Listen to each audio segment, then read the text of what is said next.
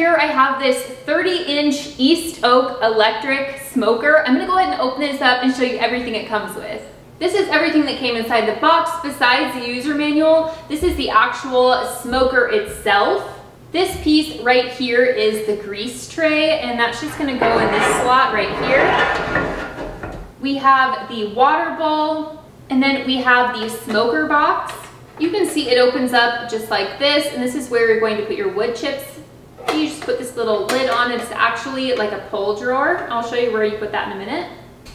This piece right here is the drip pan. It comes with a back handle so that you can easily move this around. It does have wheels on the bottom. And then it comes with four of these different cooking racks.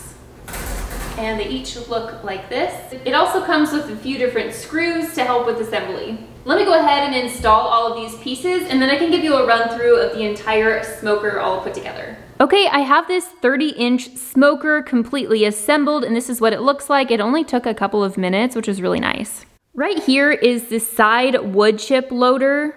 This is going to seal the heat of the food. I really like that there's no need to open the whole door of the smoker in order to add wood chips during the smoking process. Just for reference, one whole box of wood chips will last for about two to three hours of smoking so on the far left over here, we have the power button. This is going to turn your smoker on and off. Then we have a temperature button. Then we have the time button where you're going to adjust your cooking time. We have this plus and minus button right here that's going to add time or temperature value. These little pieces right here are going to light up whether this is actually on and smoking actively I do want to show in the back that there is this handle right here that you do install and there are two wheels on the bottom so you can easily use this handle to tilt it back just enough to be able to pull it or push it where you need it. This is the little latch handle right here, how you're going to open and close this. I do like that it secures nice and shut when you do have it closed.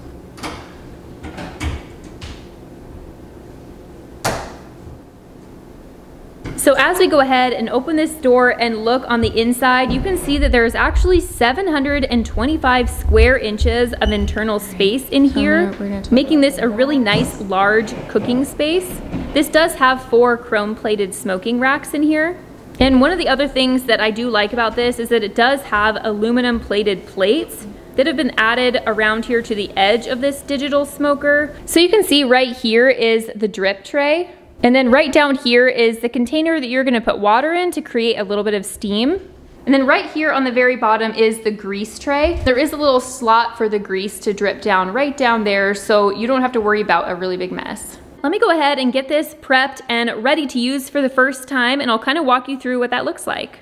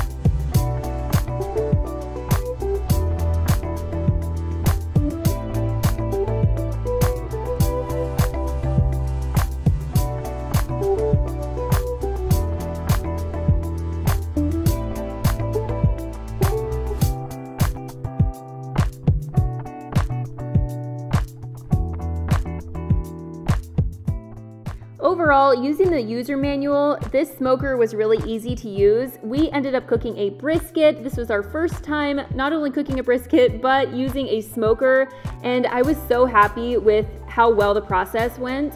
You can see how nice this looks. It's nice and juicy and tender, and it still has that nice crisp outside that you want on a brisket that is smoked. We did end up smoking corn, which turned out really nicely as well. Overall, I was impressed.